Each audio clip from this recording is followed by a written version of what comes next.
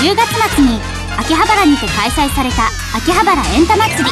今回はその中で行われたイベントの模様をちょっとだけお見せしちゃいます。まずは原作コミックテレビアニメともに大人気の作品「テメコデラックス」のイベントから。ステージに登場したのはメインキャラクターを演じる6人の女性キャスト陣と川瀬プロデューサー。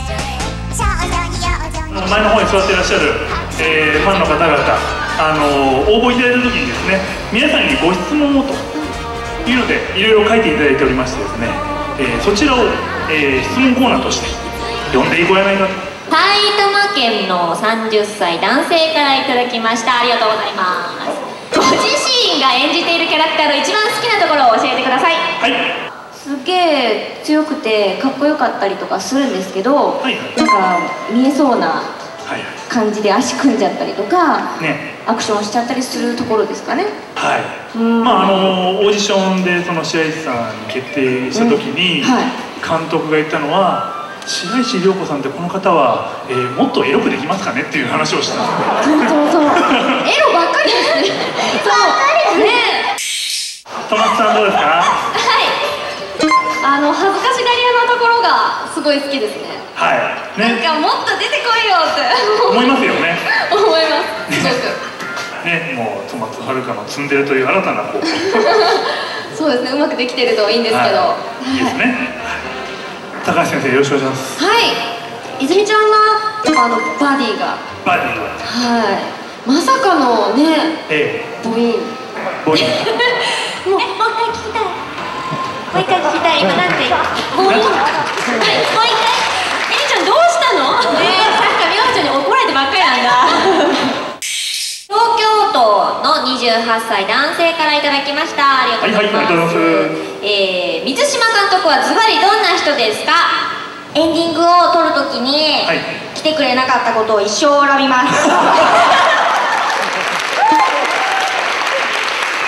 くれなかったんだよ家にいたんですよだからだから分かんないところここどうん。あなんか好きな感じで。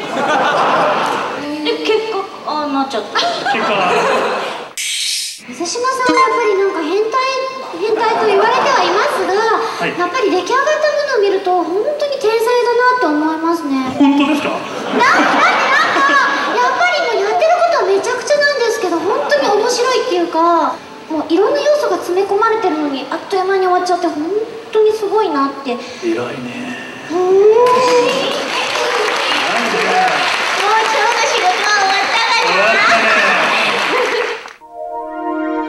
来春 OVA のリリースが予定されている大ヒットシリーズ「いちごマシュマロ」のステージでは千葉紗子さんと縄田美ひとみさんが登場。